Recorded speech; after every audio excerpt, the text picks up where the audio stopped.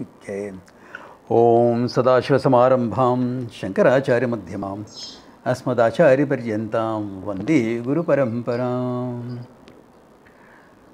Okay, so we were seeing last time the start of the 12th chapter where it started with Arjuna's question. Okay.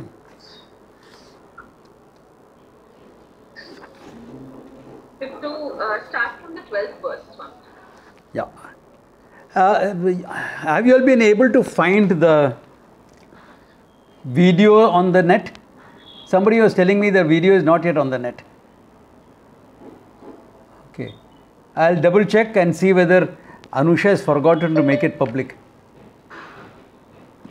Because I know I uploaded it, it's showing as uploaded. Yeah. Okay. So, the this thing goes that what are you going to do? Worship Ishvara, contemplate Nididhyasanam. He chose Nididhyasanam, but he said that was difficult. Okay.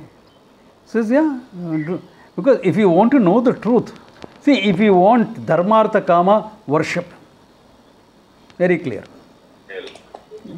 Yeah. Even Dharmartha Kama, please worship because you need God's grace to come through. So definitely you need to worship if you want Dharmartha Kama. You know, want a job, want a child, want a partner, want a this, definitely. Want money, want house, definitely worship.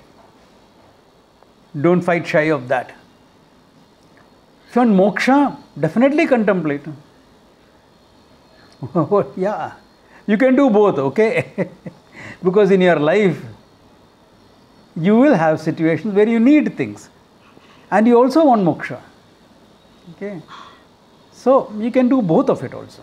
But here we are talking about knowing the truth. Therefore, he says definitely contemplate. But he also said